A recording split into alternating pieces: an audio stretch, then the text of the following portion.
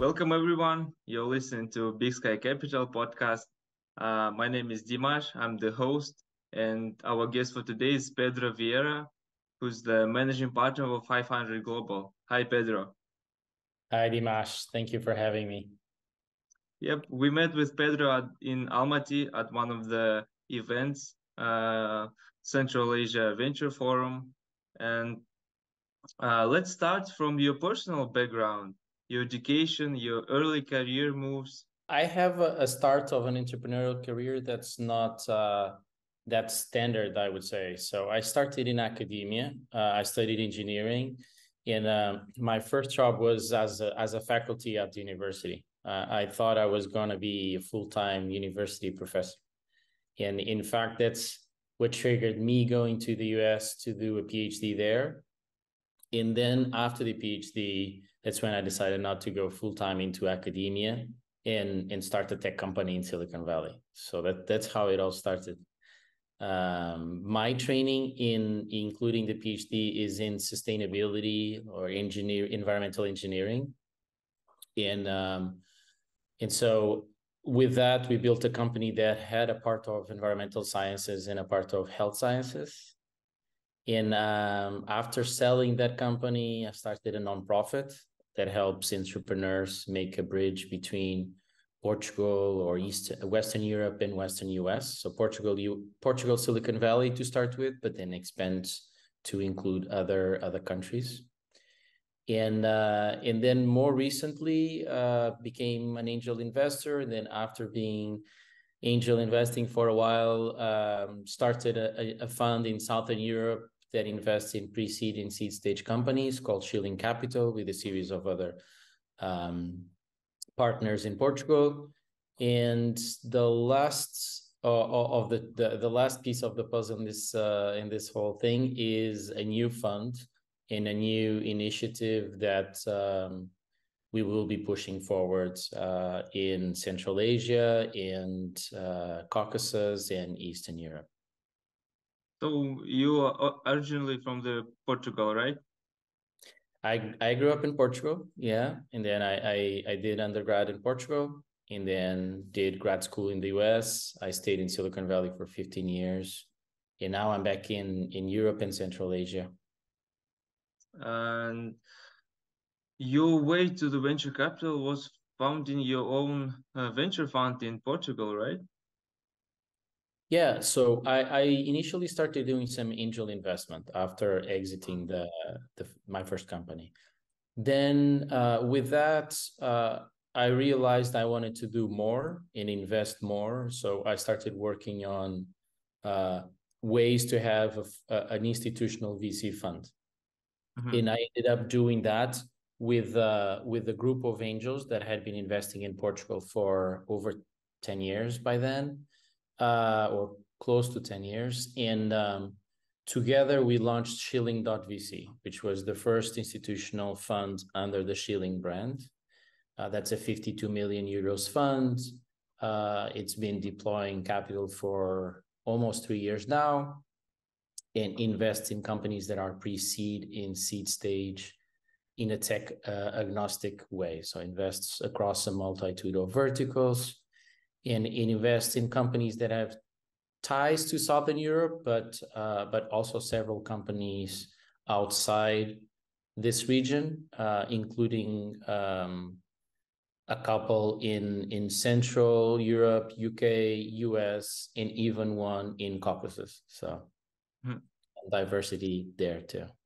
Uh, can you highlight some of the like meaningful startups uh, backed by this fund?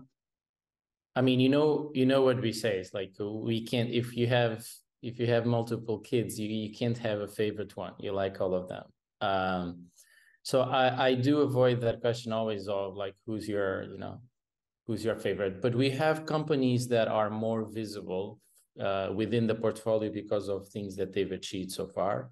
Uh, one of them is like uh, to the example of Caucasus uh, is Payze. So this is a company that is uh, or was headquartered in in Georgia initially, but then evolved to being also a Delaware company. They went to Y Combinator. Uh, they raised significant amount of capital and they are building uh, uh the infrastructure and the and the final product to be the a, a, version of Stripe for the post-Soviet countries. Uh, so that's a highly visible company that's doing really well. Uh, we've done also other things that are like deep tech companies that people don't know yet uh, much about, but that are on the leading edge of um, of AI used, for example, for for voice and, and image recognition and interpretation. So we have a company called Talka, T A L K A, that uh, that's been co-founded by folks that come from t- teams like DeepMinds and Facebook AI Initiative, etc. So people that 5, 10, 20 years ago were leading the charge on what AI could be. And now they launched this company that's basically able to interpret your intentions by looking at you and listening to what you're saying and how you're saying it. So that's pretty cool too. But anyway, so we have more than 60 plus companies. These just two examples to answer your question. All right, thank you. Uh, today you are the managing partner of the 500, 500 in Georgia, right? Mm-hmm. Uh, yeah. I'm pretty sure like everyone knows what is 500, but can you explain in a few sentences what is it and how your journey started with 500? Yeah, yeah, my pleasure. So starting with 500 Global, and then we can talk about the 500 Global initiatives in, in Central Asia and Caucasus. 500 Global started 12, 13 years ago um, as, a, as an investment firm uh, with a team in Silicon Valley. Uh, but with the with the premise from the beginning that even though they were in Silicon Valley, the in the investment activity was um, uh, or starting to be centered in Silicon Valley, the opportunity uh, of access to that type of capital and um, to the expertise that Silicon Valley experts had uh, was uh, spread around the world. So there's talented founders everywhere. They don't always have access to capital. They don't always have access to smart capital. Uh, and they don't have access to networks to grow their products. They don't have networks to assess investment from other uh, investment from other co-investors, and so from the beginning, the the thesis of 500 Global was to invest in ecosystems outside the US, helping them not just with capital, but also with uh, knowledge and expertise. So, training founders in those regions, giving them capital, but also training the other stakeholders in the ecosystem. So, we know that it's not just enough to train the founders and give them capital. The other stakeholders, like public policymakers, like angel investors, like VCs, like uh, corporates, uh, everyone in a tech ecosystem plays a role in the success of these startups. So 500 also had built from early on, designed and executed a series of programs to help build up an ecosystem in its multiple parts. Um, with doing that, uh, now 500 has a family of more than 20 funds around the world. Um, just a handful of them in the US, and everything else is investing in um, in regions or countries specific. Even the US funds are investing globally, right?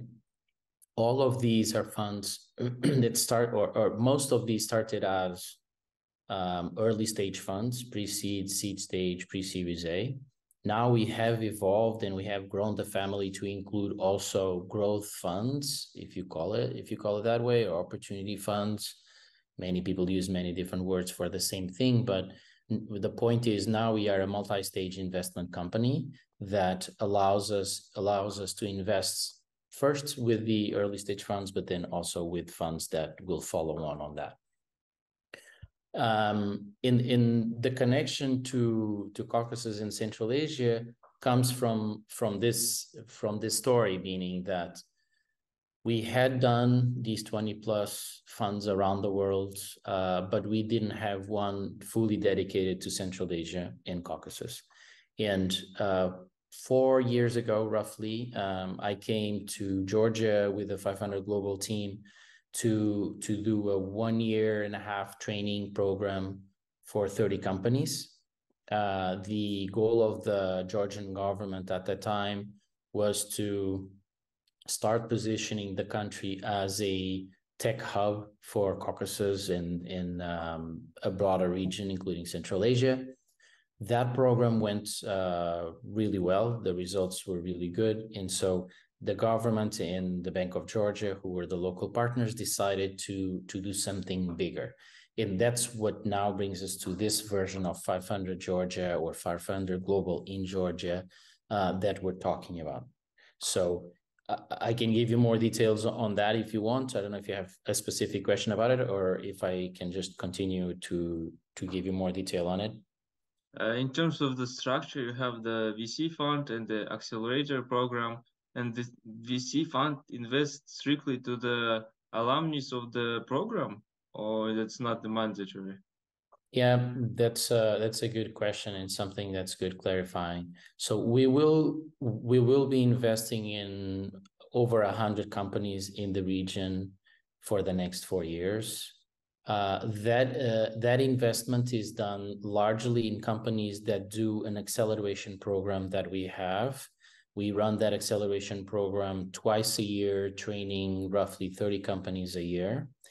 And uh, we invest in the companies that go through this acceleration program. There is some capital reserved for companies that don't go through the accelerator, but it is uh, limited and will be deployed in a very strategic way uh, for example, in companies that may not be at the right stage of the accelerator, but still make sense for us to, to be a part of their journey. Um, but always, always for companies within the region. So always focused on uh, Central Asia, Caucasus, Eastern Europe, uh, and Baltics. Uh, how many batches uh, you already uh, passed? We with this with this new program, we've already done two batches. In fact, uh, applications for the for batch five or the third batch in this program is uh, are open. If, if everyone goes to to the 500 Georgia program, they'll be able to to apply there. We'll and, uh, provide uh, the link also in the description. Yep. Thank you so much for doing that. Uh, I mean, a Google search for 500 Georgia will take people there, but uh, appreciate you sharing also the link in your in your channel. Um, but uh, but I was saying, yes. Yeah, so applications are open. We will be selecting the companies over the summer. the The batch starts September twenty fourth, uh, if I'm correct, and um, it will extend until early December. So the programs run twice a year, as I was saying. They're three months program, uh, and uh, each of the, each of them usually between trains between ten and fifteen companies. And I can tell you more details about the program later if you want, also the curriculum, etc. Uh, at what stages do you expect startups to apply to a program? Do you have some KPIs or maybe just like or just uh, subjective? Yep. So we invest in pre-seed and seed stage companies. Um, we like to see companies that uh, well we definitely require companies to have a a running product so we don't invest in just a powerpoint idea mm-hmm. um, but we like to see a functional prototype at least and ideally with some traction metrics. The traction metrics will will can be measured in in different ways. Ideally, also revenue and revenue growth. Um, but uh, we understand some companies are still validating some things and don't have revenue, but have other validation metrics. For example, they have growth of users, and they have a highly engaged user base that shows that the product is really wanted by the market, even if it's not being charged yet or, or monetized yet. Uh, we can also look at LOIs uh, that may have been done with enterprise clients, if it's an enterprise client, if it's an enterprise uh, service. We can look at, you know, growth of the wait list for a certain product if we believe that that's the true like uh, uh, a true wait list, if you will, because it's easy to also build wait lists that uh, mean nothing. So we can. The point is, we can look at things different from revenue um, if uh, if it makes sense on a company by company basis. We we invest, as I said, pre-seed and seed stage. So we invest a ticket of a hundred thousand dollars in um, and then uh, in, in, in we invest that with our uh, version of a convertible note, which is a KISS. Mm-hmm. Uh, what was the acceptance conversion rate on the previous programs? uh, we we how, how uh, many startups applied in total? Yeah, we we usually get be- around 400 applicants, uh, but the number's growing. 400 applicants for each cohort and then in each cohort, only 10 to 15 make it in. In the last two cohorts, we had 12 companies and 13 companies. So 25 companies invested out of a total of roughly a thousand candidates. That's mm-hmm. your that's your ratio. Uh, what do you think that's the ideal result of the startups graduating from 500 accelerator yeah. So revenue or fundraising or anything else? It's it's all of the above.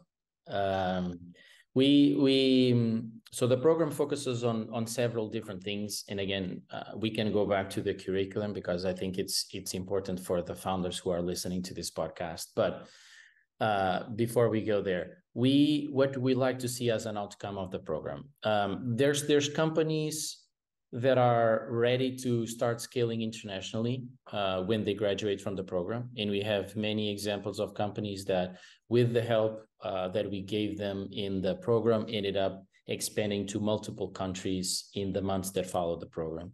There's companies that are already have a, a very good uh, diversified regional footprint, and all they want to do at that at that point is to grow their revenue.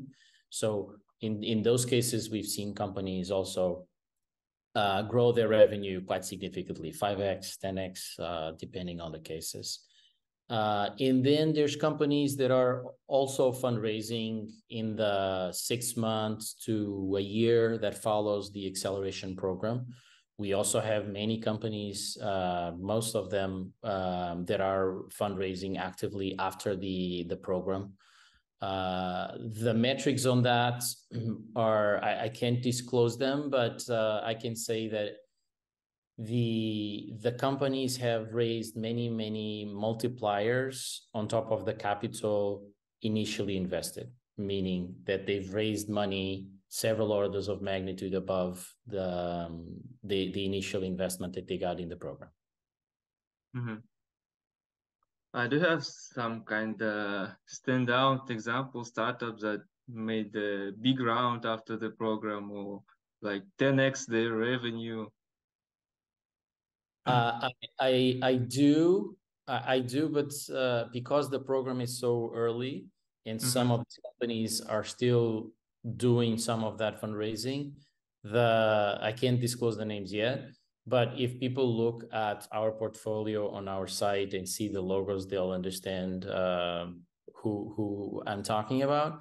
Um, I think the the the the number, like one of the numbers that was was made public by one of our partners, not us, in the past, was that in the first programs, the first edition of the program, the companies that partner, which was the Bank of Georgia, invested uh, roughly 1 million in the companies. And within a year or so of graduating from the program, the companies had raised more than 10 million in total. So that's a 10x multiplier that uh, that I was talking about. Yeah, that's a good result. Uh, in your opinion, Pedro, uh, what are the developed markets, countries in the Central Asia or Caucasus uh, that you're covering and what are the markets countries that are promising like uh, developing ecosystems yeah uh, it, that's kind of the same thing as as the the question about the portfolio in the favorites. Uh, I I'm investing in a very wide region. I can't have favorite countries, but I can say that I can't and I don't want to, because I think each country has different needs, and we're gonna be able to help uh, each of them differently. But um, what we see is we have some some we're going to invest, like I said, focused on in Central Asia, Caucasus, and some in Eastern Europe. The um, in in this wide region, as you can understand, there's there's very different uh, stages of development of the ecosystem. so we have, on one hand, countries that have relatively large markets, uh, domestic markets, but are still quite underserved in terms of uh, tech infrastructure, uh, tech services, and um, and there I think lies probably some of the best investment opportunities because they're sort of the hidden gem. No investor is still doing anything there. And uh, the companies need capital, the founders need support. Then you have another another uh, bucket of countries that ha- are already uh, mature in um, they have large domestic markets, but they already have a series of acceleration programs. They already have a series of investors there. So so the investment scene is completely different there, where the founders already have enough support. And then you have uh, anything in between the, these two extremes. So we we are investing um, in a regionally distributed way. Right now, if we look at the statistics of the last two cohorts, uh, the distribution is almost it, it's uh, largely, uh, or let me put it differently. If you look at the last 25 investments we've done, the countries that are most most represented are Georgia, Azerbaijan, Armenia, Kazakhstan, and Uzbekistan. All right, uh, kind of similar question, but not in terms of the countries, but in terms of the industries. Uh, what the industries are attracted the most venture capital and what are the in your opinion the promising industries that will thrive in the near future we are talking about the like central asia regional caucasus not in the world yeah um so the the our our thesis is that um, we need to diversify across multiple verticals so we actually try to avoid in, in investing too too much or too high of a percentage on a specific vertical. But what we see in in this region, in our region, is there's a lot of uh, deep tech, AI, Web three uh, things which are hot sectors, hot trends these days. So we we are paying extra attention to those uh, we have a few examples of companies uh, that are doing um, deep tech in the area of voice recognition, uh, deep tech in the in the in the space of image recognition. Uh, we are doing companies that are doing um, a lot of things in the Web three space. So we we've done a series of investments there, but we are also doing investments across you know other verticals like e-commerce, digital health, education. Uh, education or ed tech, in fact, um, is is one of the other sectors that probably I would uh, highlight as under uh, fast development in the region, if you will. And we've done a series of investments in ed tech, ed tech, um, in fact, we've done some investments in companies that are in the intersection of AI and ed tech, which is really cool. Um, overall, what what I see and others see, um, this is not just my uh, my analysis, is that the um, the talent, the tech, the, the the science and technology talent in in the region is is very strong. Hmm. The the commercial ability to sell that science and technology still needs to improve. And so programs like ours, where during the acceleration program, we expose the founders to a lot of content and frameworks around sales and growth are fundamental to help these local companies um, monetize and grow the revenue of the deep science, deep tech that they have built over the last few years. so you're saying that the heart, the tech expertise, there's no difference between the founders from the Silicon Valley, for example, or other developed markets. If if we're talking tech uh, tech expertise, yes, I think there's top-notch talent in the region. Uh, mm-hmm. uh, no, no questions about it, and probably better than than in Silicon Valley in some areas. Uh, the gaps are elsewhere, in my view. The gaps are on the scaling side, on the commercial side, and that's where we focus a lot of our time in our acceleration programs. Um, uh, last month, I saw uh, lots of the statements, articles that said that after raising the interest rates, the venture capital in emerging markets are di died. What do you think of that? We, as the uh, VC, also covering the Central Asia, uh, also feeling that. Uh, what's your statement on that? Um, I, think so. There, there's two sides to that. One is it's definitely become very hard for the venture capital funds to raise their own funds. That's absolutely true. So, so you know, so managers of the funds do have a harder time fundraising. Um, for the deployment, um, I I have mixed feelings about it. In our case specifically, uh, we're not slowing down. We we have our thesis set. We have our execution in place, and and we're going to continue. We actually believe that the best investments in the best funds do usually come out of times of economic downturn, uh, and there's data to prove that. So we will continue investing heavily. Uh, the the what we need to do and again, uh, something that we work very hard with our portfolio companies is to make sure that the capital that we deploy is used in an even smarter way in terms of cash efficiency, which, to be honest, for the region is, is, a, is a relatively easy thing to do because founders in Central Asia, Caucasus, Eastern Europe uh, have traditionally, especially Caucasus in Central Asia, have traditionally lived in a cash poor environment. So they know, or capital poor environment. So they know that they need to be very wise at how uh, they manage their capital and how they manage their runway, uh, which is extremely important in, in times of economic downturn. Um, but the the the founders in our region have done that historically. It's not just this year or last year because they that's the reality they've lived for the last decade.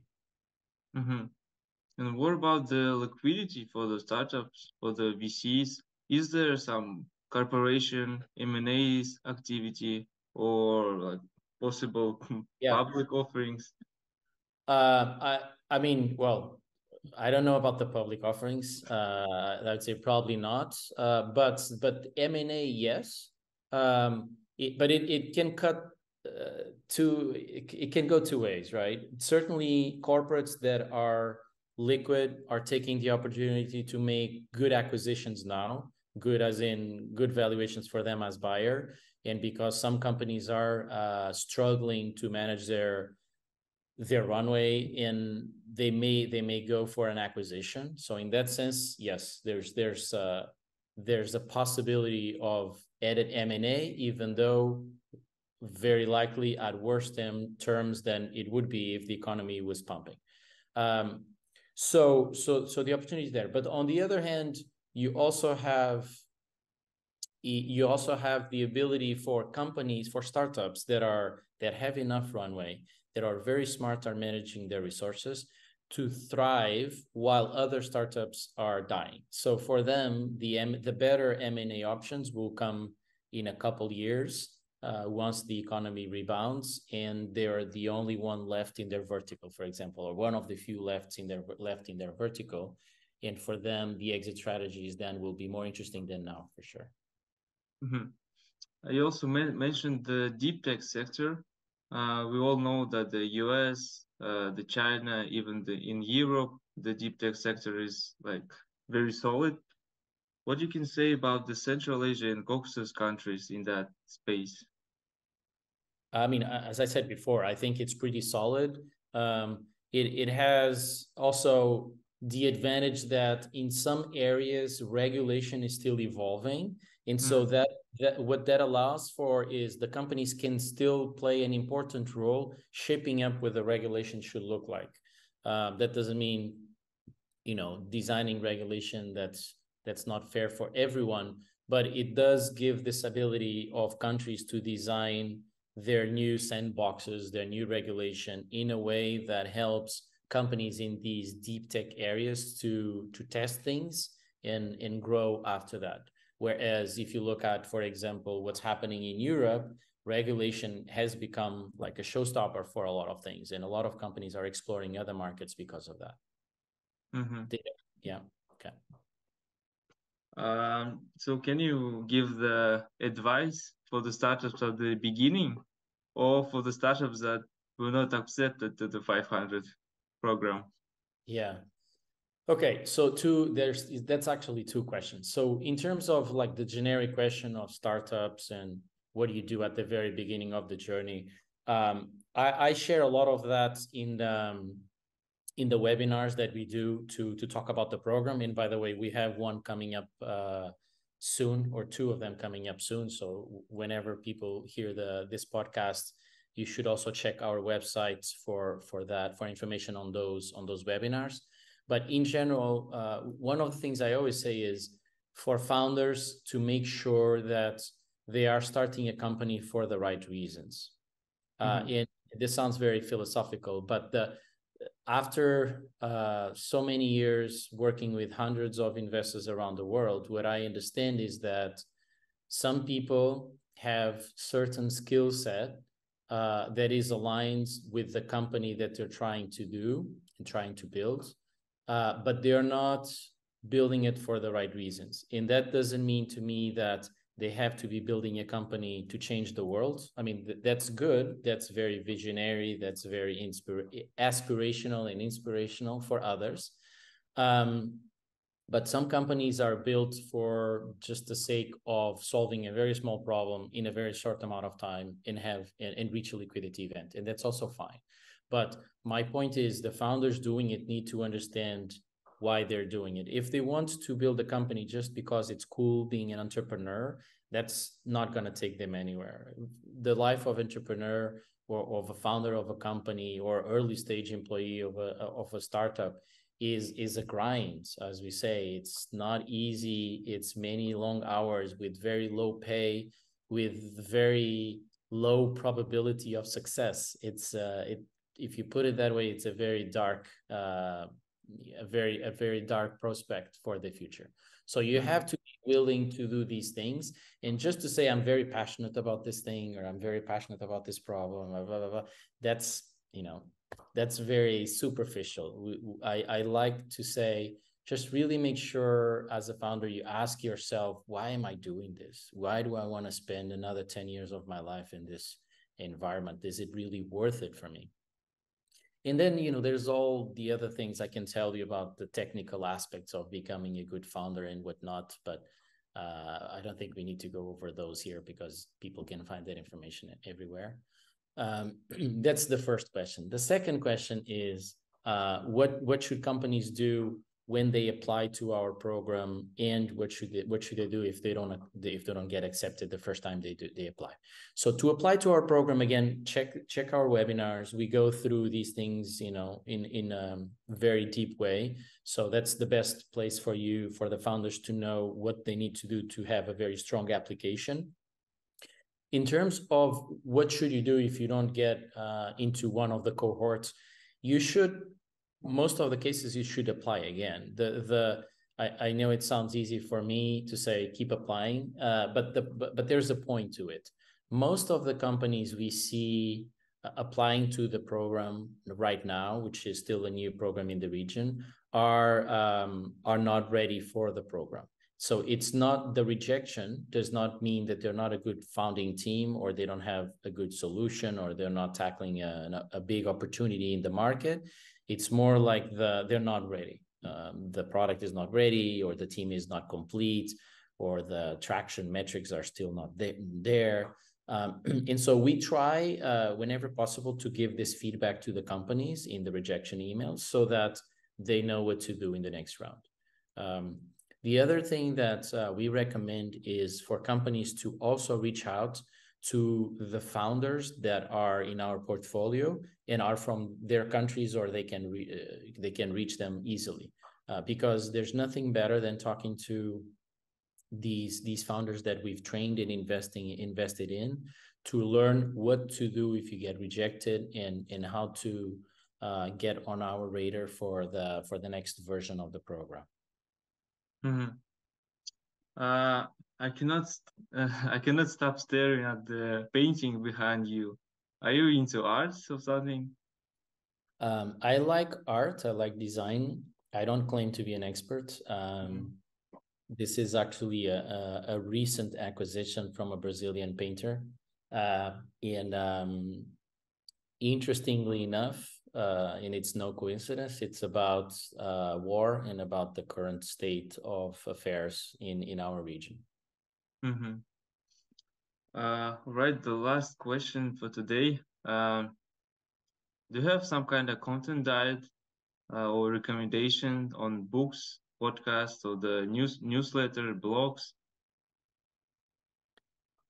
Again, uh, I don't I don't want to point out my favorites. I think that these days um, th- there's there's a couple of blogs that are that I follow and that I think that founders should follow that mm-hmm. because of their um, because they're very broad because they come cover a, a, wide range of topics that are that are valuable.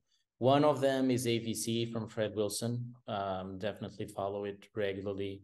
Um, and then there's there's other guys that i read now and then but uh, paul graham for example always writes very conceptual and then applied stuff um, i think the founders uh, more than this is may sound a little bit controversial, but more than spending too much time reading, they they need to spend a lot of time building. Um, the ones that um, I see a lot of founders that are theoretical in nature, and they're very good at answering all the questions that the VCs have for them. But then the the metrics of the companies, what they're building, the team that they hired, do not reflect what they're saying in theory. So I I think that the the the the saying that ideas are worth almost nothing, execution is everything is uh is very is very dear to me, very close to my heart and very accurate. All right. Thanks a lot, Pedro, uh, for that conversation. And thanks a lot for everyone listening to this podcast. And if you are the founder of the seed pre-seed startup, uh, we'll provide the link for you to apply for the 500 Global Accelerator. Um, thanks a lot, Pedro. Thank you so much for having me and for the opportunity to talk about 500 Global in our region.